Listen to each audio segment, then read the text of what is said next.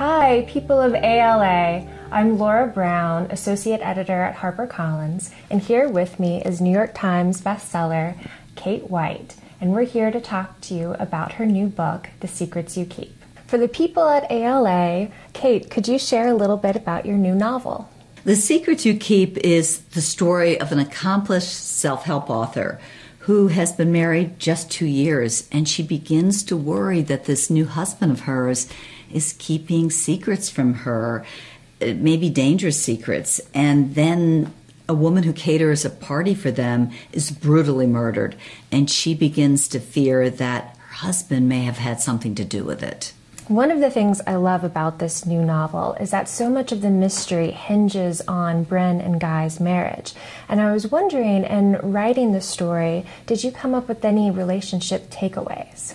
Not takeaways per se, Laura, but I used to be the editor in chief of Cosmopolitan for 14 years, and I was reminded when I was writing the book how important it is to have trust in a marriage, but you also need a certain amount of mystery. That you don't want your spouse to be your best friend because it dilutes that little bit of important tension and sexiness and magnetic pull. Mm. So don't tell him everything. Don't lie, but save some things and create a little sense of mystery. It increases dopamine, which mimics infatuation, which is a good thing.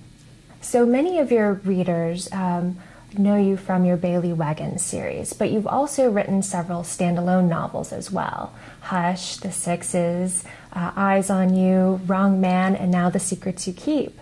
Um, and I'm wondering, what are some of the differences uh, between writing for a series versus writing for a standalone novel?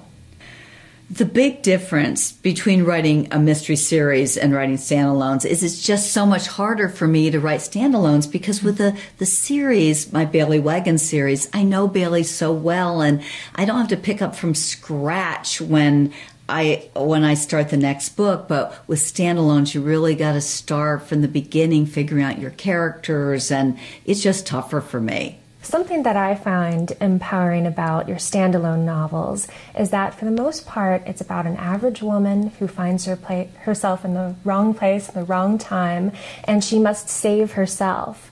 Um, is this a, a, deliberate pushback against the damsel in distress storyline? I've never related very well to damsels in distress. and I think women today are just have no interest in that. I remember when I was at Cosmo, I did a cover story on Angelina Jolie early in her blossoming of her career when she was married to Billy Bob Thornton and wore the vial of blood around her, around her neck. And I was afraid that there'd be some blowback from that cover. Women loved her. They loved that she was kick ass and she she she she just was a really feisty, fearless woman. And I, I remember thinking, wow, women are different now. That's the type of role model they're looking for. And I think it's the type of characters they like in fiction today. So, one of the things I didn't know until we started working together is just how much research goes into the writing of your books. Um, for instance, I know with The Secrets You Keep, you went to Saratoga to get a better feel for the town. So, I was wondering why is research so important to your writing process? And, and can you give us a sneak peek into another bit of research that played into this book? Oh, Laura, I love doing research. And one of the frustrations for me when I was at Cosmo is that because I had a full time job, I couldn't do as much as I wanted to. I just had to do a lot online.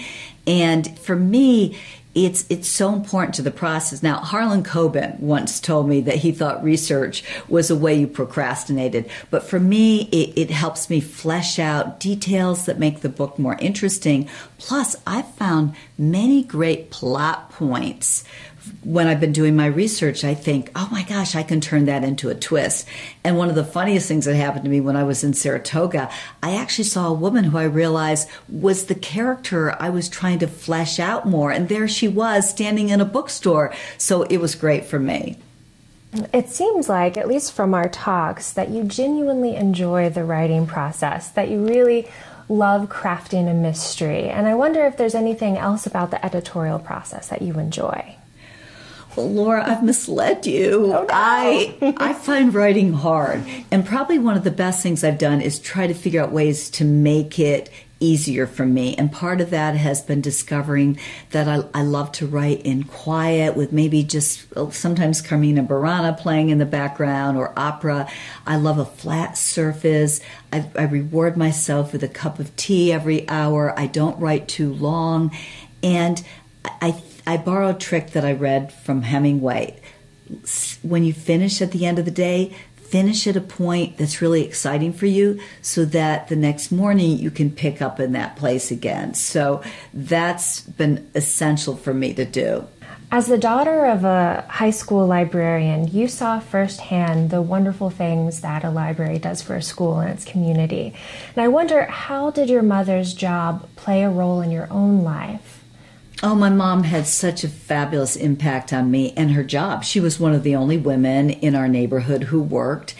And the fact that she worked in a library was so key. She brought me books and magazines. I can still remember her introducing me to Wrinkle in Time. Mm-hmm. And I used to go to the library to help her and she would have me set up the displays which i was terrible at but it gave me a love not only of reading but of working and it profoundly shaped my life well, Kate, it has been so much fun um, talking with you today. Thank you for opening up your home and sharing with the ALA readers about your new novel, The Secrets You Keep, which will be available everywhere, bookstores and online, March 21st. Uh, Virginia Stanley, thank you so much, and your whole team for the great work that you do. And ALA viewers, we hope that you'll stay up way past your bedtime reading The Secrets You Keep.